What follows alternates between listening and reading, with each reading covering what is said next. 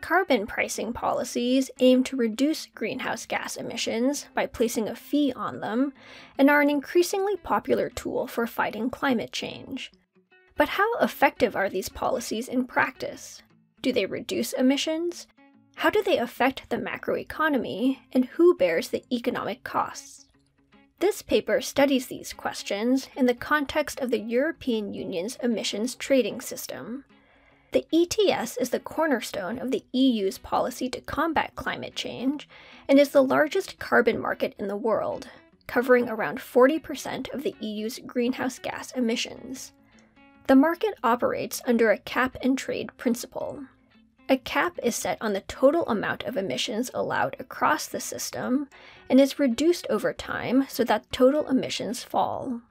Within the cap, the distribution of emissions is determined by emission allowances, which confer the right to emit one ton of carbon dioxide equivalent gas.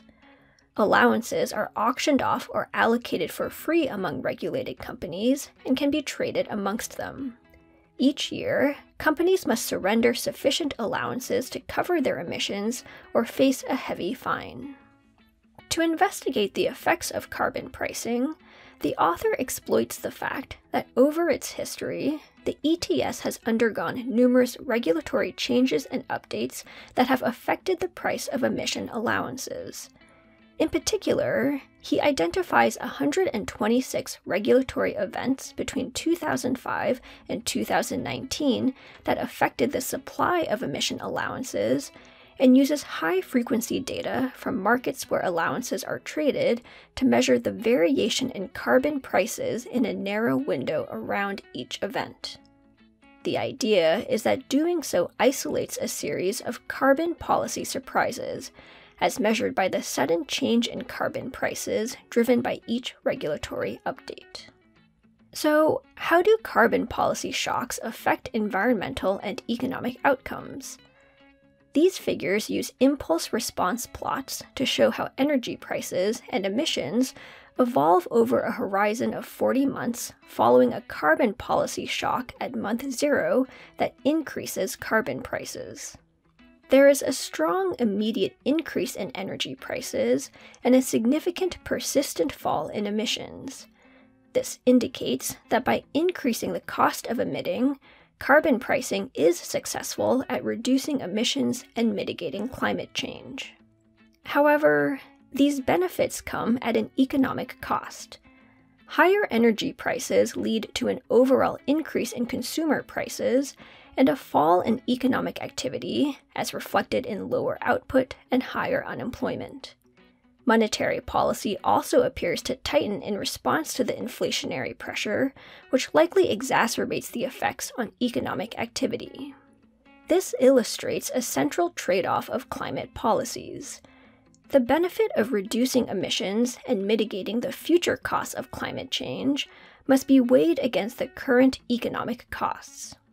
Consistent with the monthly evidence, these figures show that the carbon policy shock leads to a significant fall in real GDP, with the effect on consumption especially pronounced.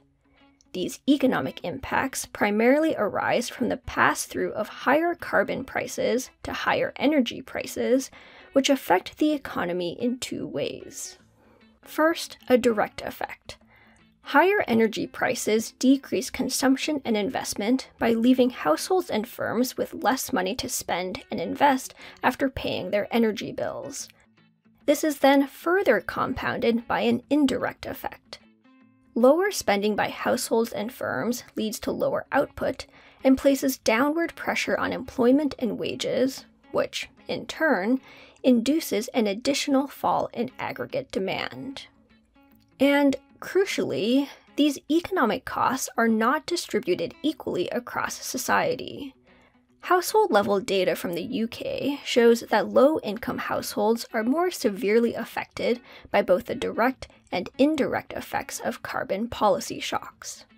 First, because they spend a higher share of their expenditures on energy, poor households are more exposed to increases in energy prices, and higher energy bills leave them with significantly fewer resources for other expenditures.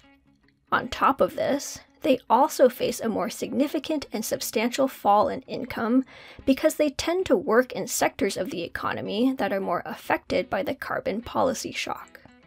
These are not necessarily more energy intensive sectors, but rather those such as retail or hospitality that are more sensitive to fluctuations in demand for goods and services. Overall, the author estimates that low income households account for over 30% of the aggregate effect of carbon pricing on consumption, despite making up only 15% of total consumption in normal times. These findings raise an important policy question. As auctioning has become the default way of allocating emission allowances, the ETS has produced a growing share of auction revenues. While the large majority of these revenues are earmarked for climate and energy related purposes, this paper's findings suggest that redistributing some portion of them to the most adversely affected groups could mitigate the distributional effects and reduce the economic costs of carbon pricing. This is unlikely to compromise the reduction in emissions since demand for energy is largely inelastic and to the extent a successful transition to a low carbon economy requires public support, it could yield demonstrable benefits.